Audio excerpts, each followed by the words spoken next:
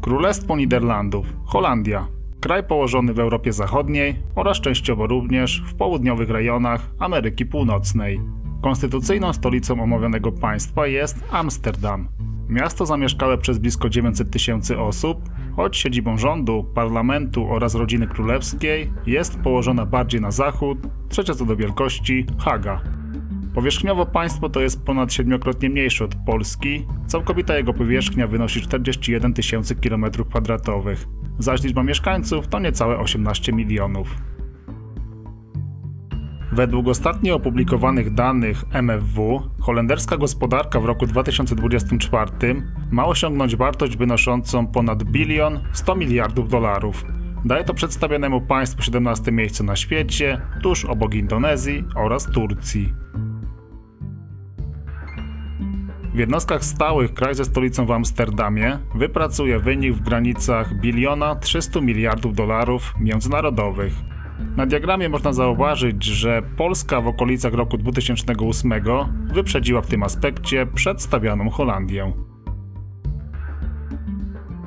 W przeliczeniu na jednego mieszkańca, zarówno w dolarach amerykańskich, jak i jednostkach realnych, to już Królestwo Niderlandów wypada wyraźnie lepiej niż nasz kraj. Wartość PKB per capita podawana w dolarach to ponad 63 tysiące, w ujęciu ilościowym, czyli po uwzględnieniu lokalnych cen 74 tysiące. Co do wskaźnika nierówności społecznych, w tym porównaniu oba kraje znajdują się dość blisko siebie.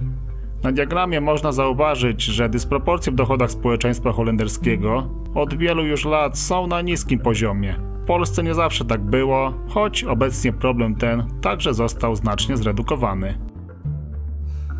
Holandia nie jest zadłużonym krajem. Jej dług publiczny według danych z grudnia 2023 roku wynosi 46% PKB i jest to wartość nieznacznie mniejsza niż zadłużenie Polski. Na wykresie można także zauważyć, że tendencja holenderskiego długu w ostatnich 30 latach raczej pozostaje na lekko spadkowej trajektorii.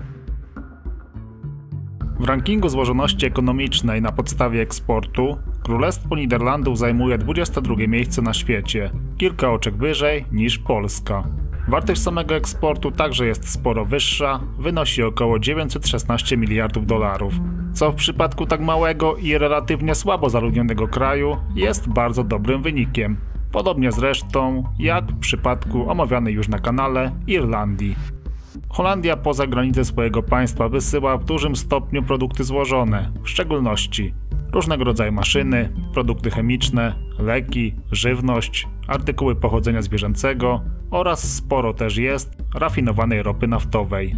Głównymi partnerami handlowymi Królestwa Niderlandów są kraje europejskie, w szczególności Niemcy, Belgia oraz Francja. W przypadku importu również tutaj Republika Federalna Niemiec jest wiodącym partnerem handlowym dla przedstawianej Holandii. Dalej znajdują się jeszcze Chiny, a także Stany Zjednoczone i Belgia. Królestwo Niderlandów sprowadza głównie ropę naftową oraz ogólnie produkty ropopochodne, różnego rodzaju maszyny i urządzenia elektroniczne, chemikalia, trochę też jest samochodów, żywności oraz artykułów tekstylnych. Holandia, podobnie jak Polska, jest państwem członkowskim Unii Europejskiej oraz Sojuszu Wojskowego NATO. Holenderska gospodarka odznacza się wysoką dynamiką oraz innowacyjnością, będąc obecnie jednym z czołowych graczy na arenie międzynarodowej. Kraj ten posiada rozwinięty sektor przemysłowy, usługowy oraz rolniczy, a także jest jednym z głównych eksporterów na świecie. Jednakże Holandia stoi również przed szeregiem wyzwań. Jednym z nich jest napięta sytuacja mieszkaniowa, ze względu na wysoki popyt na nieruchomości i niedobór mieszkań w większych miastach, co często prowadzi do wzrostu cen oraz utrudnia ich dostęp, w szczególności dla młodych osób. Ponadto kwestie związane z migracją, integracją społeczną oraz ogólnie klimatem politycznym mogą też stwarzać pewne wyzwania dla holenderskich władz. Dziś kraj ten posiada jedno z bogatszych społeczeństw świata oraz jest również popularnym celem emigracji zarobkowej. Królestwo Niderlandów znane jest z wysokiej jakości życia, rozwiniętej infrastruktury, a także swojej wielokulturowej społeczności.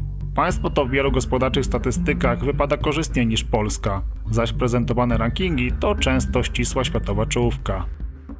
Tej części to już wszystko. Zapraszam do obejrzenia bezpośredniego porównania Polski oraz Holandii w dalszym fragmencie nagrania.